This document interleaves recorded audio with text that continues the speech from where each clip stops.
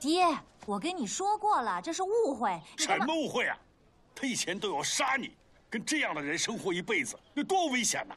正好今天人都在，来，把休书给我写了。写休书啊！你是不是太过分了？你太过分了，老于！我，你让孩子怎么怎么下这个笔？于老寨主，我和登登行了，我跟登登说话呢，你插什么嘴啊？我不休。对，二爹支持你。这一路上也都是他一直在保护我，不然的话，我都不知道死了多少回了。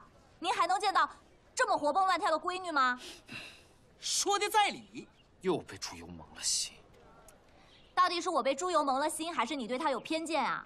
他到底是怎么对我的？我眼睛看得清楚，心里也明白，不用你们来告诉我。哎呦，等等，不要以为爹不了解你啊！爹也曾经跟你说过，这女人呐要成大事者，不能贪恋美色啊。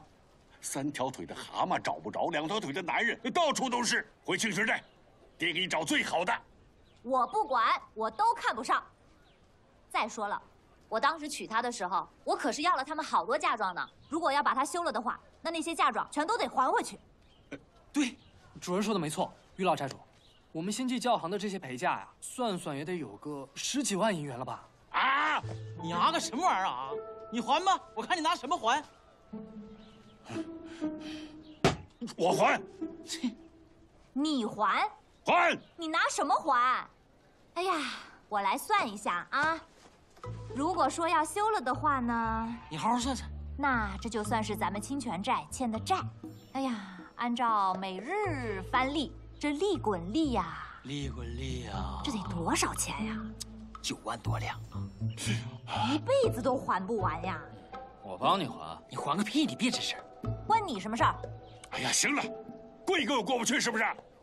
这封休书，今天必须得写。等等，我跟你说，我跟他之间，你只能选一个。今天休书必须得写，啊，选他。二爹承认你。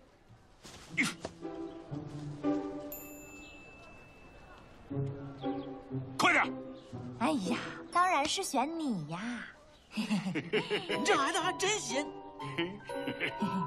你写吧，写，听你爹的。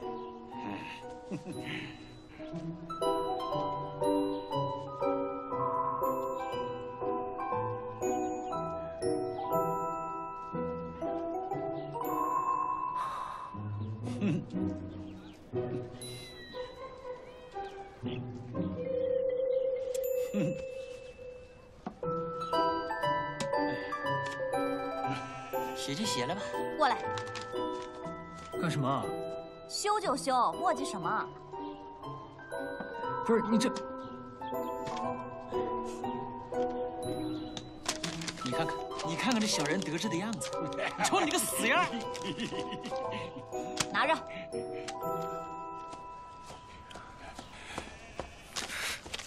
这好好的一对，让你给拆散了都。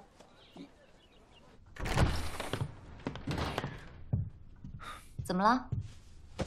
你为什么要写休书啊？你没看吗？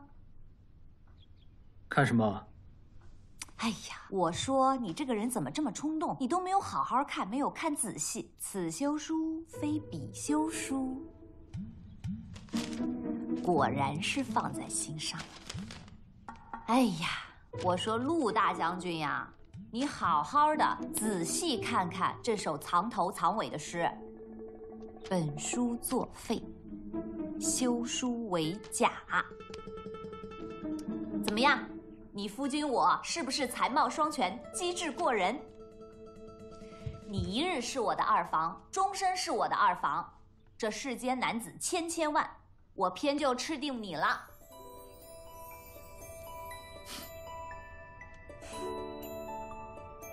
行，那我就勉强接受了。